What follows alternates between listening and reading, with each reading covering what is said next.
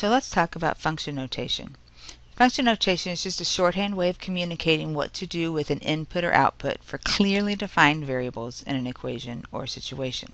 So we have a variable or a number can be inside the parentheses.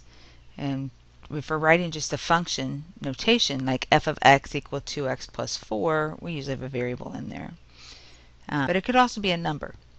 And whatever's inside this parenthesis is always our input.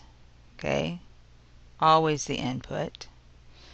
This variable and this thing always match. Okay, so you substitute into the function for the input. So we have f of x is equal to 2x plus 4. That's just our function. So f of negative 3 means that I want x to be negative 3. And if this x is negative 3, then so is the x on the other side.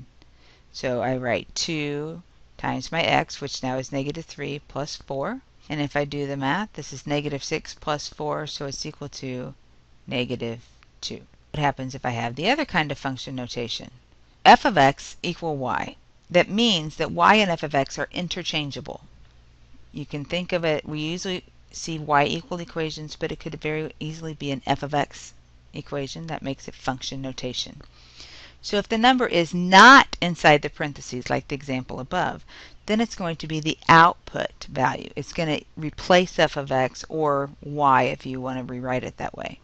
So again, our same function, f of x is equal to 2x plus 4. If we have f of x equal 10, then that means we are going to replace f of x with 10.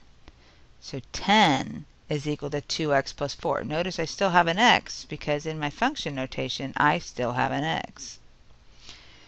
So it says that y is equal to 10. So then where I would normally think of y, I'm going to put my 10.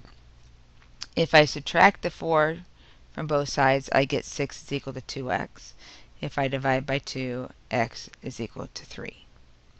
All right, now let's try looking at a graph and see if we can look at our function notation. The key thing is to remember, is the number they give me an x or is it a y? Inside the parentheses, that's an x. Okay, and I'm trying to find the y value. So f of 0 means that x is 0. So I come to the origin and I look to see where that is on my graph when x is 0, y is 2. That's negative 2 is an x. So I look at negative 2, go to my graph to find out what the y value is. That's this point right here. So y is 6. Okay, the y is 6. The x was negative 2. Now when I look at it this way, remember f of x is equal to y. So this 4 is a y value. Okay, we have a y here. So we look at the 4 on the y-axis, go over to our graph, and see that that corresponds down here to negative 1. So x is equal to negative 1. Again, this is a y. So I go to negative 2 on my y-axis and then go over to my graph and see that that's related to the x equaling 2.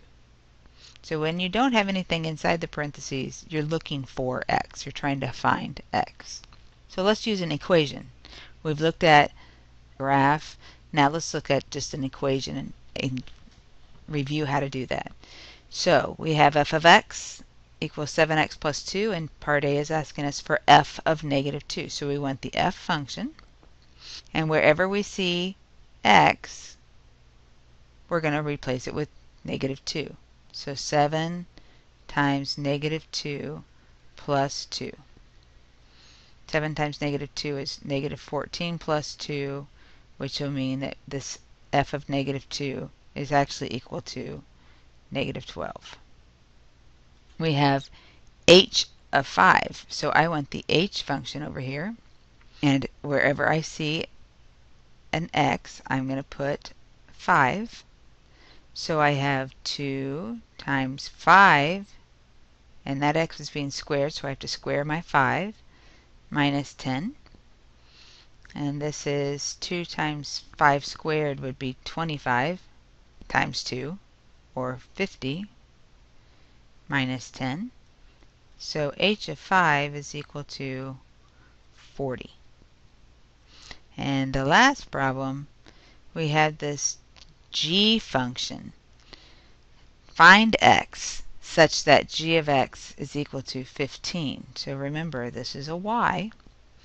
So we're going to say 15 is equal to negative 1.25x plus 14.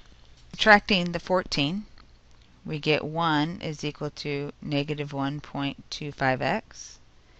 And if we divide by negative 1.25, we find out that negative 0.8 is equal to x.